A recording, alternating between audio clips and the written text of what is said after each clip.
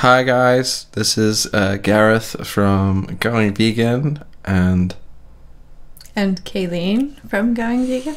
and how are you? I hope you're all having a happy new year. We thought we'd come back at you with another video. Um, just gonna freestyle discuss something like we did um, with the, uh, the the recent review in our, in our last video, and uh, we we uh, watch a few channels that do this kind of format. So I keep on bumping the mic. Sorry. Sorry. Let us know what you think if you'd like to see more like this, or give us a thumbs up and leave a, a comment in the description below. So, today we're going to talk about whether kids should be vegan. Going vegan for a year. Right? Mm-hmm. It's a hot topic. Everyone has an opinion on this topic.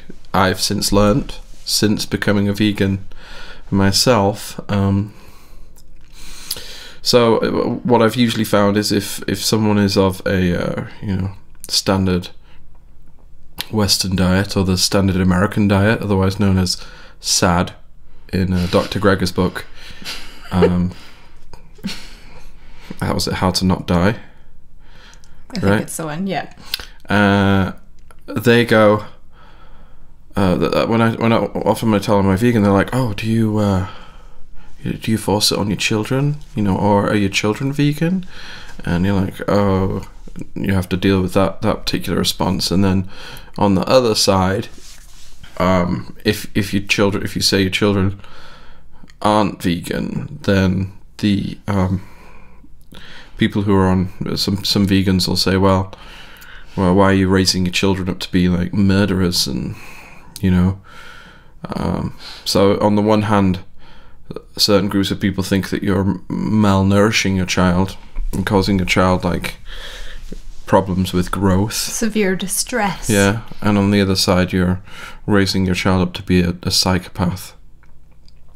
So, what are your thoughts, Kenny? Okay. First of all, I just wanted to say that it's kind of interesting um, because even the concept of having children, the lighting is a little bit weird. It's nighttime and, and we just have the one lamp on. So let us know if the light's a little weird. We can add more next time. Um, so weird. yeah, so weird. Or is it nice and mellow? Um, Yep. Um, so, first of all, there are many vegan communities, many vegan individuals that believe that even having children makes you automatically, by default, not vegan. This is true. Yes. Um, there are many people who. Um, no, I was just making it more in oh, the middle. who believe that, um, or they believe this so matter of factly that they, uh, when they're quite young, such as Vegan Gains, I think he's, is he even 30? Maybe 30? I'm not sure. He's in his twenties. Is he in his 20s? Okay. Uh, he's already had a vasectomy.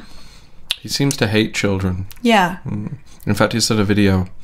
It's, it's been a parody. It was a parody, but it was a pretty extreme parody about how much he hates children. Yeah. So, pretends to stamp on a child that's in a crib in Yeah. this video. Yeah.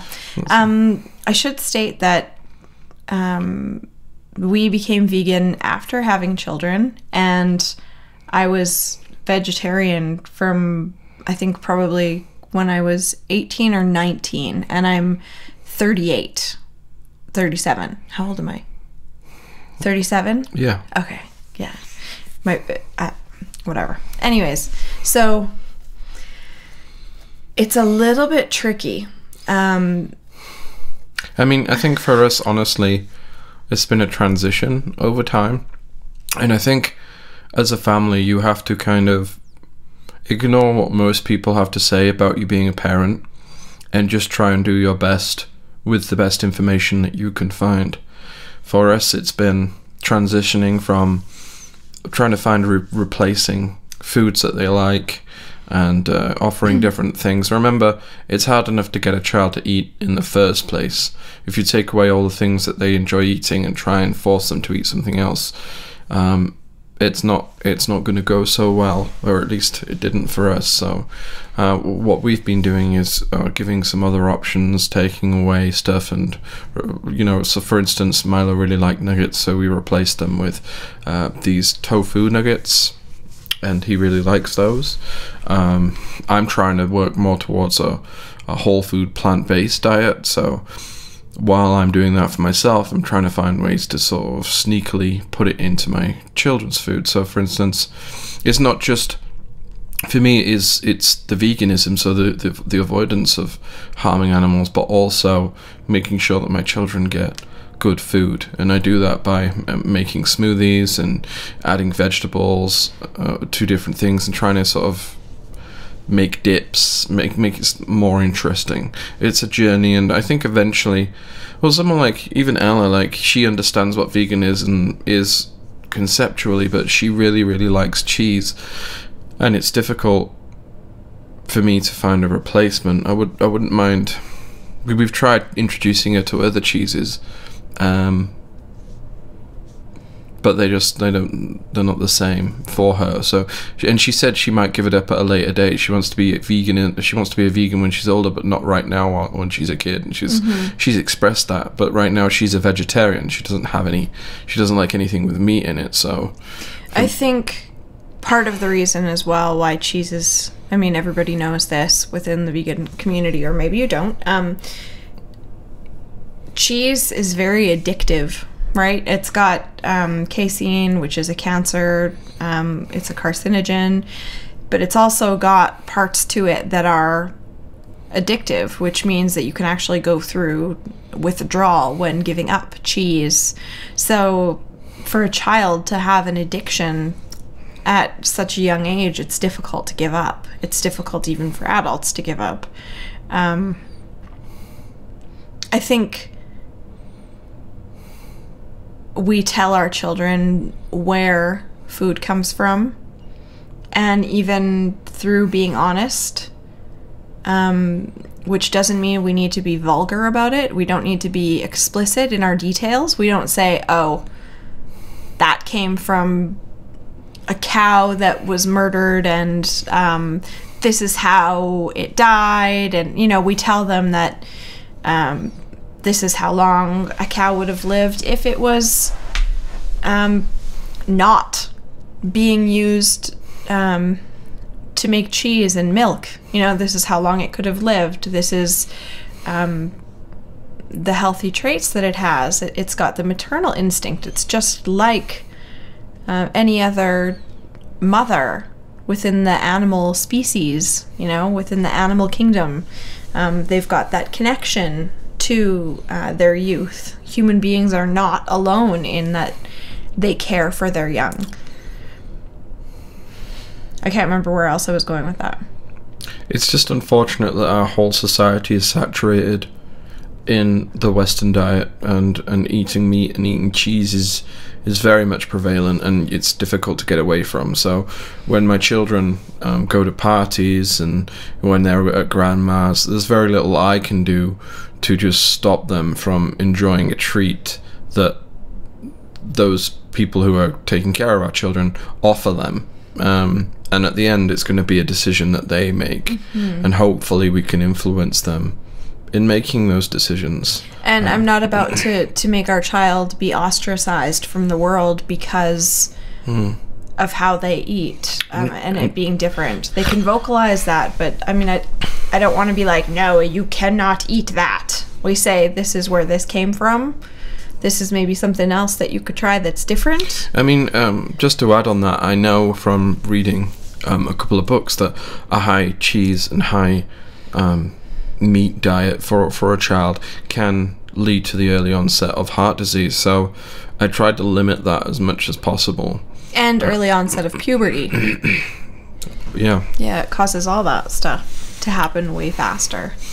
So, with again, if you're a parent and your your concern is with um, turning vegan and, and, and turning your, your family vegan, you'll have to do it one step at a time. And for me, what motivates me is um, the statistics relating to longevity. So, um, I'm eating so I can be here longer for my children. My mother, she had um, a Western diet and she ate lots of meat, and she died quite early on, uh, only less than 10 years older than I am now. So for me, it's important to try and make these changes now so I can prevent a long term disease. So there's that. And I, and I suppose part of me being uh, more lenient towards my children and less strict in terms of what they eat um, is because I know it's not going to harm them as much at this stage as it as it as it would for me at my stage in life. Um, and another thing, if we'd given birth to children, our children, as vegans, it would be very different to how it is now. Like, uh, and uh, because the the children would have been brought up on this food, and uh, it would be easier to sort of maintain. But as it is, we're a family that's sort of going through transition, and, and I'm hoping at one point, maybe over the next couple of years, I'll have enough culinary skill set that they won't have any cravings, and I'll be able to limit these situations where they do have.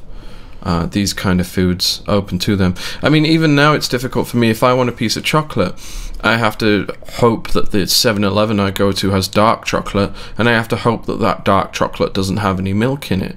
And the children at, uh, you know, Halloween, it's difficult to just say, sorry, you're not, you're not allowed any candy. You're not allowed to go out with your friends and enjoy that situation when I remember enjoying it myself. But mm-hmm. it's, it's, it's a difficult balance. It's like what society dictates and expects and and to what level you want to prevent your children from from being a part of that. And I think this is probably something that every family goes to and, and there's through, and there's going to be a huge range of where they are uh, in that situation. I'm not a very sort of angry, shaming type parent. Um, That doesn't that doesn't do any good. they turn into um later on Hmm. they're going to be like, "Oh, I didn't like the way he did that, Yeah. so I'm going to do the exact opposite." Well, that's where we are anyway. Um, I would recommend uh, doing your research and, and working with your child in term and just being honest as to where the food is coming from.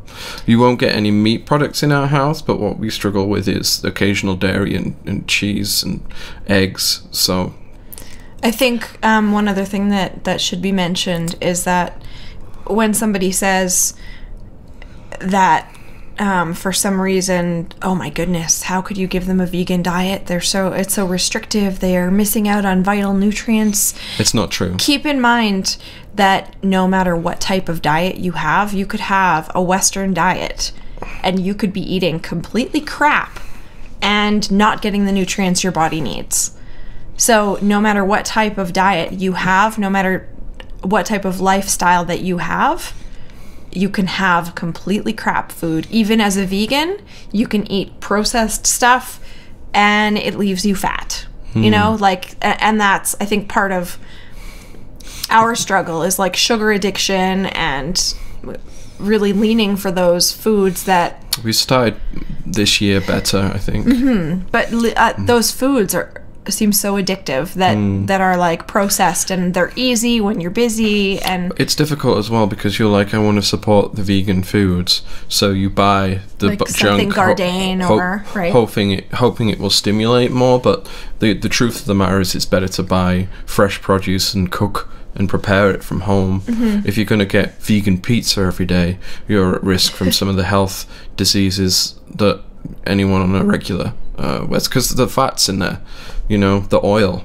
and, and the oil clogs up your arteries just as bad as the cholesterol in the animal fat. So um, you have to be careful in that sense. I mean, you are harming less animals, but what we're trying to do is cause less harm all around. Harm less harm to ourselves and less harm to the animals, and find that find that balance. it's all about intention you know like if you lean forward and you're being aggressive towards people and you're saying uh, you're not a vegan you're you're allowing your children to eat some cheese or um, you're not restricting their diet or their um, their lifestyle so that they're only eating vegan but if somebody comes at you with a super negative um,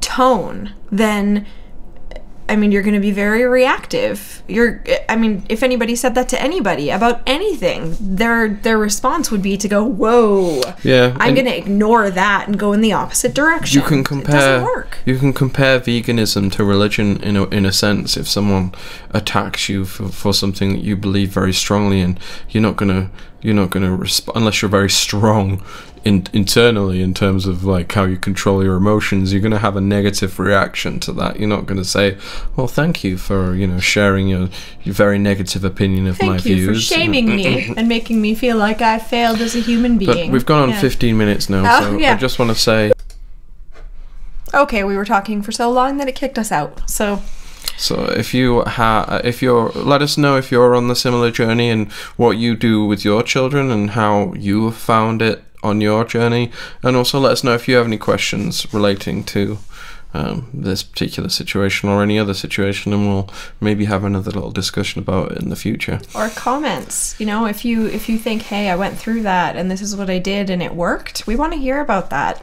Yeah, you like know? we found a helping new, each other. we found a channel in the UK and they seem to be rocking it right now and their, their kids are eating pretty much full on vegan food so that inspired me a little Yeah. bit being out here in the country it's difficult to find all these uh, good foods you have to spend a lot of time preparing and it's not always possible and at the end of the day you want your child to eat you don't want them to you know get sick because they're not eating anything so yeah so uh, on, on that note thanks for watching and uh, we'll see Stay you warm. next next time. Bye.